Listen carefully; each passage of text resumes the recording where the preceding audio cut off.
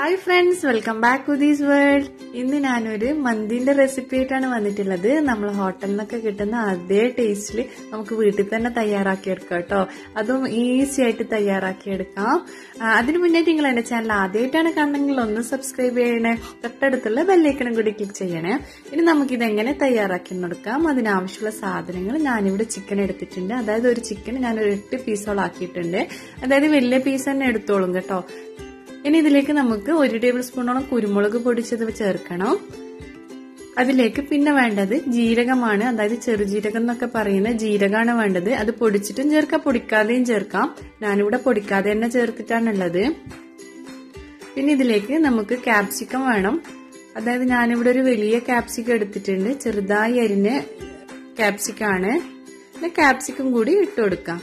പിന്നെ വേണ്ടത് ഒരു പിടിയോളം മല്ലിയിലയും പുതിനയിലയും വേണം. അതും കൂടി ഇട്ട് കൊടുക്കാം.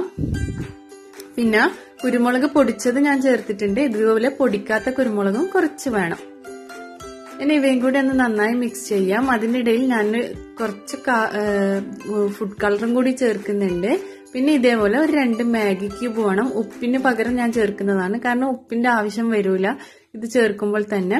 ഇതൊന്ന് നമുക്ക് കൈകൊണ്ട് ഒന്ന് പൊടിച്ചിട്ട് കൊടുക്കാം.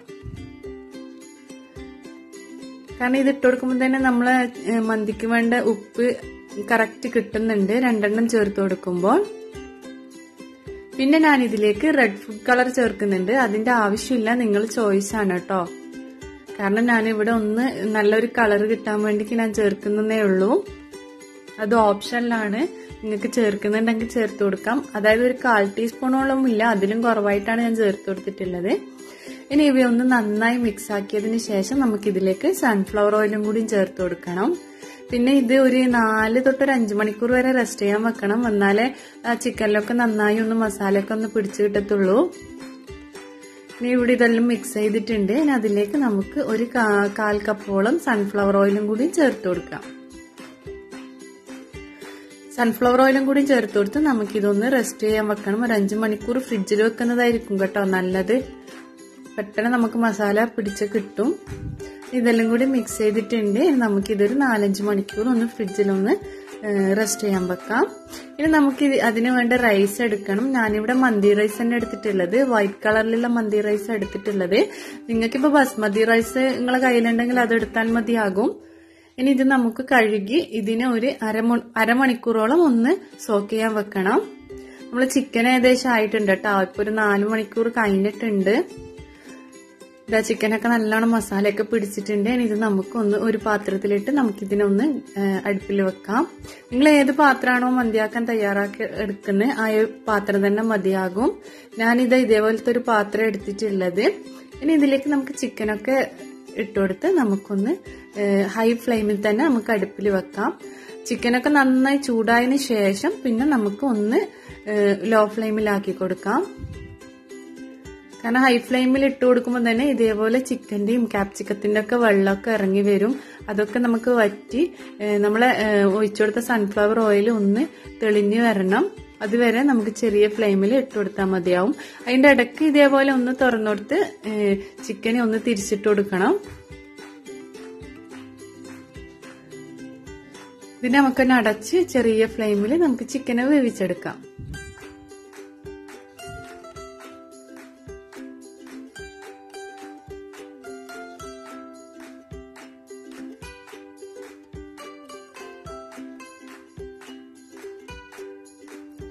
എന്റെ ഇവിടെ ഇത് ഏകദേശം ആയിട്ടുണ്ട് ചിക്കനൊക്കെ ആയിട്ടുണ്ട്. നമുക്കൊന്ന് തുറന്നു നോക്കാം. ഇതാ കണ്ടില്ലേ എന്റെ എണ്ണയൊക്കെ നന്നായി തെളിഞ്ഞു വന്നിട്ടുണ്ട്. ഈ ഒരു പരുവായിക്കിനെ നമുക്കിതിനെ ഒന്ന് ഓഫ് ചെയ്യാം. ഇനി നമുക്ക് ഇതിന് മന്തി മന്തിക്ക് വേണ്ടിയുള്ള റൈസ് നമുക്ക് വേവിച്ചെടുക്കണം. അതിനു വേണ്ടിക്ക് ഇതേപോലെ ഒരു പാത്രത്തിൽ വെള്ളമെടുത്ത് അതിലേക്ക് ആവശ്യമുള്ള ഉപ്പും കൂടി ആഡ് ചെയ്ത് പിന്നെ അതിലേക്ക് വേണ്ടത് പട്ട ഗ്രാമ്പു ഏലക്കായ് പിന്നെ ഒരു ഡ്രൈ ലെമൺ പിന്നെ വേണ്ടത് കുറച്ച് ഇതേപോലെ കുരുമുളക് കുരുമുളക്. ഇതെല്ലാം കൂടി ഇട്ടൊന്ന് നന്നായി തിളച്ച് വന്നതിന് ശേഷം നമുക്ക് ഇതിലേക്ക് അരി ഇട്ട് കൊടുക്കാം. ഇനി ഇവയെല്ലാം കൂടി ഒന്ന് മിക്സായ ശേഷം തിളച്ച് വന്നു കഴിഞ്ഞാൽ നമുക്ക് ഇതിലേക്ക് അരി ഇട്ട് കൊടുക്കാം. അതേപോലെ ഒരു ടേബിൾ സ്പൂണോളം സൺഫ്ലവർ സൺഫ്ലവർ ഓയിലും കൂടി ഒഴിച്ചു കൊടുക്കണം. അതായത് നമ്മൾ ചോറ് ഒട്ടിപ്പോകാതിരിക്കാൻ വേണ്ടിക്കാണ് കേട്ടോ.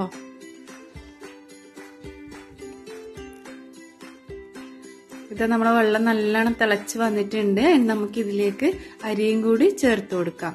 അതായത് ഒരു എഴുപത്തഞ്ച് തൊട്ട് എൺപത് ശതമാനം വരെ വേവിച്ചെടുത്താൽ മതി. കാരണം ബാക്കി നമ്മുടെ മന്തി ദമ്മിൽ തന്നെ വെന്ത് കിട്ടും. ഇനി ഇവയെ നമുക്കൊന്ന് വേവിച്ചെടുക്കാം.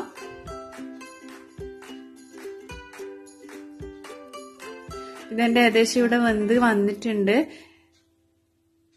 കറക്റ്റ് വേവിൽ എനിക്ക് കിട്ടിയിട്ടുണ്ട്. ഇനി നമുക്ക് ഇതൊരു അരിപ്പയിൽ വെച്ച് ഇതിന്റെ വെള്ളമൊക്കെ കളഞ്ഞെടുക്കാം. ഇതാ കണ്ടില്ലേ എന്റെ റൈസൊക്കെ നല്ലോണം ഒട്ടിപ്പിടിക്കാതെ തന്നെ എനിക്ക് കിട്ടിയിട്ടുണ്ട്.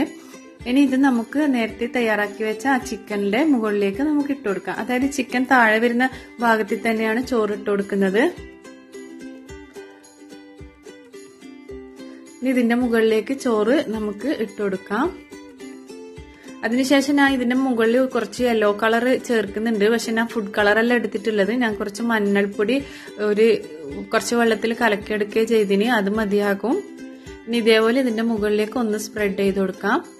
പിന്നെ വേണ്ടത് ഇതിന്റെ മുകളിലേക്ക് കുറച്ച് കുറച്ച് ബട്ടർ ചേർത്ത് കൊടുക്കാം. അത് ഓപ്ഷനിലാണ് ഞാനിവിടെ ചേർത്തിട്ടുണ്ട്. അപ്പൊ ബട്ടറിന്റെ ഒക്കെ ഒരു ആ ഒരു നല്ല സ്മെല്ലും ടേസ്റ്റും ഒക്കെ കിട്ടുന്നുണ്ട്.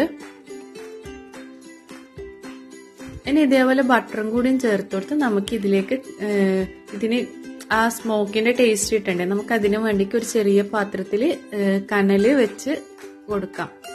അതായത് ഞാനിവിടെ സാധാ ചിരട്ട കത്തിച്ചിട്ട് എടുത്തിട്ടുള്ളത്. നിങ്ങളെ കയ്യിൽ ചാർക്കോളൊക്കെ ഉണ്ടെങ്കിൽ അങ്ങനെ ചെയ്താൽ മതി.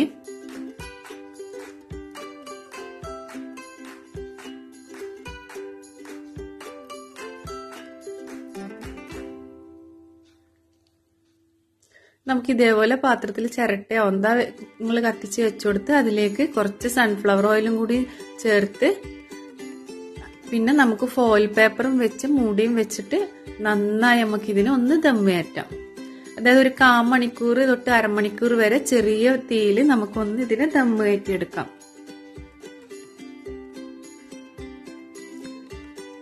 അടിയിൽ ഒരു കട്ടിയിലെ പാത്രം വെക്കുന്നതായിരിക്കും കേട്ടോ നല്ലത്.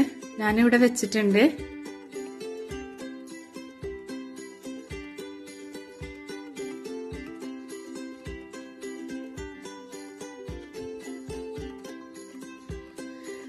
എന്റെ ഇവിടെ ഏകദേശം ആയിട്ടുണ്ട് നമുക്കൊന്ന് തുറന്നു നോക്കാം ഇനി നമുക്ക് ഈ കരിയൊന്ന് നമുക്ക് എടുത്ത് കളയാം.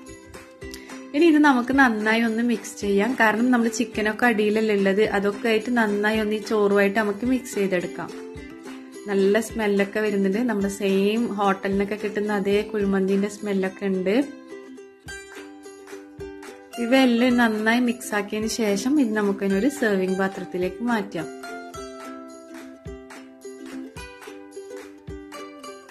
ഇതെന്തായാലും നിങ്ങൾ ട്രൈ ചെയ്ത് നോക്കുക കേട്ടോ കാരണം സെയിം നമുക്ക് ആ ടേസ്റ്റിൽ തന്നെ കിട്ടുന്നുണ്ട്. അതിന് ഹോട്ടലിൽ പോയിട്ടൊന്നും ആരും കഴിക്കേണ്ട ആവശ്യമില്ല. നമുക്ക് വീട്ടിൽ തന്നെ തയ്യാറാക്കി എടുക്കാം. ഇത് നമുക്കൊരു സെർവിങ് പാത്രത്തിലേക്ക് മാറ്റാം. കാരണം ചിക്കനൊക്കെ ആ നമ്മുടെ ഹോട്ടലിനിട്ട് അതേ ടേസ്റ്റിൽ തന്നെ കിട്ടിയിട്ടുണ്ട്. ഇതെന്തായാലും നിങ്ങളൊന്ന് ട്രൈ ചെയ്ത് നോക്കണം. എന്തായാലും ഇഷ്ടാകും. ഇതാ നിങ്ങൾ കണ്ടില്ലേ? സെയിം സെയിം നമ്മൾ ഹോട്ടലിൽ നിന്ന് കാണുന്ന പോലെ തന്നെ ഉണ്ടല്ലോ. എന്തായാലും നിങ്ങൾ ട്രൈ ചെയ്ത് നോക്കണം. എന്റെ ഈ വീഡിയോ ഇഷ്ടമായിരുന്നെങ്കിൽ നിങ്ങൾ ലൈക്ക് ചെയ്യണം ഷെയർ ചെയ്യണം സബ്സ്ക്രൈബ് ചെയ്യണം. നിങ്ങൾ ആദ്യമായിട്ടാണ് ഈ ചാനൽ കാണുന്നതെങ്കിൽ തീർച്ചയായും ഒന്ന് സബ്സ്ക്രൈബ് ചെയ്യണം. ഇനിയും പുതിയ വീഡിയോസ് ആയിട്ട് വരാം. Thank for watching